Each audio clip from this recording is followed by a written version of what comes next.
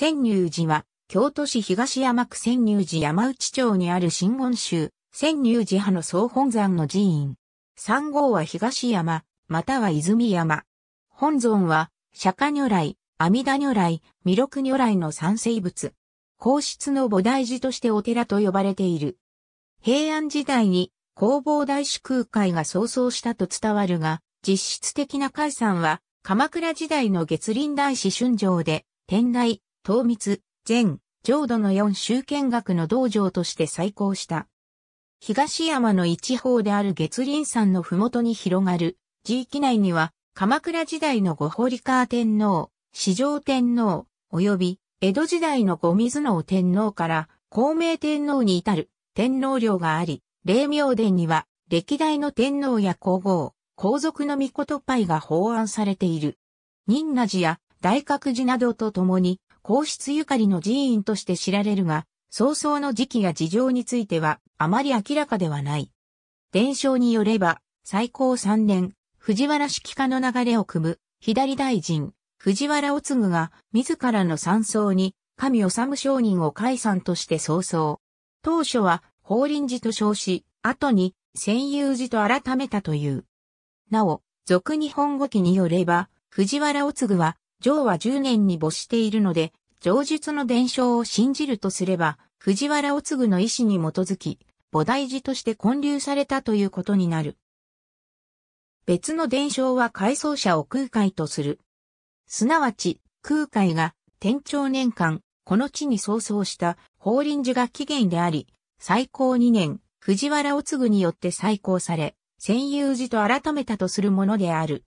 空海による創創年代を大道2年とする伝承もあり、この寺院が後の今熊野観音寺となったとも言う。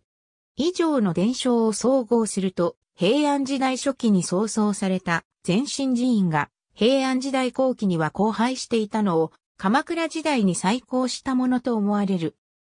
月林大師、春城鎌倉時代の憲法6年、宇都宮の部房が荒廃していた戦友寺を春城に寄進。春城は多くの人々の寄付を得てこの地に大伽藍を造営し、家禄2年に主要伽藍を完成させた。その際に霊戦が湧いたので、次号を千入寺としたという。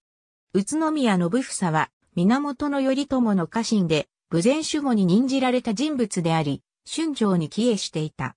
春城は、肥後国出身の学僧で、正治元年僧にわたり、足掛け13年の滞在で、天台都立を学び、権略元年日本へ帰国した。彼は僧から多くの文物をもたらし、千流寺の伽藍はすべて宋風に作られた。千入寺は律を中心として、天台、東密、禅、浄土の四宗見学の道場として栄えた。後鳥羽上皇や土見門上皇、純徳上皇、あと高倉院のほか、北条政子や北条康時も、春城の下で受会するなどその勢いは強まり、女王三年には、五堀川天皇により、皇室の祈願寺と定められ、任時三年正月には、四条天皇の葬儀を行うまでになっている。こうした関係から、五堀川天皇と四条天皇の領母は、千流寺内に築かれた。この頃から皇室との結びつきがより強まっていき、ついには南北朝時代から安土桃山時代までの歴代天皇の葬儀を一手に行うまでになっている。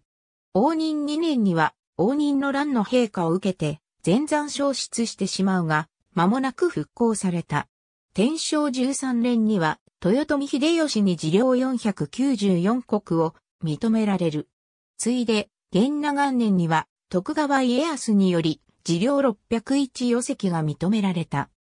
江戸時代に入ってからは、皇室との関係は、より密接となり、小水能天皇から孔明天皇に至る、歴代天皇、皇后の葬儀を一貫して取り行ったほか、その領母もすべて境内にあり、月林領、五月林領、五月林東山領として築かれて祀られている。月林領と五月林領には合計で25の三捧ぎと9つの墓があり、五月林東山領は孔明天皇領である。千入寺はこれらの皇室の領母や、御事パイに対して、香を焚き、花を備える、工芸員となり、お寺と尊称されている。明治政府の神仏判前令により、領母はすべて宮内省所領領の管理下に置かれることとなり、以後は天皇、皇后の葬儀を行うこともなくなったが、明治天皇の直使により、道具の永全修理はすべて宮内省において実施され、日常の経費もおみことパイ保護料として可視されていた。戦後、政教分離の原則を定めた日本国憲法施行により国費を支出することができなくなったことから、1966年に三笠宮高人親王を初代総裁とするお寺潜入寺を守る会が有志により設立され、現在は秋篠宮文人親王が総裁を務めている。また、天皇、皇后が京都に行幸継する折には、参拝するのが恒例となっているほか、選定四代の正月命日には、天皇の代理として、宮内庁京都事務所の職員が代拝している。総門を入ると、参道の左右に、いくつかの達中がある。長い参道の先にある大門をくぐると、左手に、八木碑観音堂があり、正面には、伽藍の中心をなす仏殿、シャリ殿が立ち、これらの背後に、霊明殿、御座所など、皇室ゆかりの建築があり、その背後に月林寮がある。シャリドの御座所庭園霊明殿歴代天皇、皇族の領母軍。皇室財産として宮内庁が管理している。海山道へ向かうスロープの途中から前景が一望できる。月林寮は月林寮と五月林寮からなっている。これらの三先に祀られている歴代天皇、皇族の25両、五杯塚、九母は以下の通り。月林領。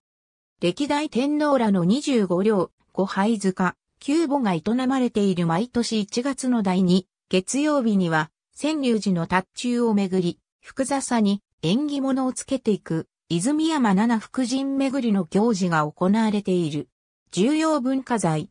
八木碑の風貌をモデルに作られた観音菩薩座像という伝承があり、八木碑観音堂に安置される。県庁7年、春城の弟子深士会が、仏舎利と共に南宋から将来したものとされる。長らく100年に一度だけ公開する秘仏であったが、将来から700年目の1955年から一般公開されている。作風、材質など、明らかに日本の仏像とは異質で、自伝通り、南宋時代の作と考えられている。なお、シャリ殿に安置される木造伊賀天立像と木造殿、月貝長者立像も南宋時代の作であり、八木碑観音菩薩座像と共に1997年、重要文化財に指定されている。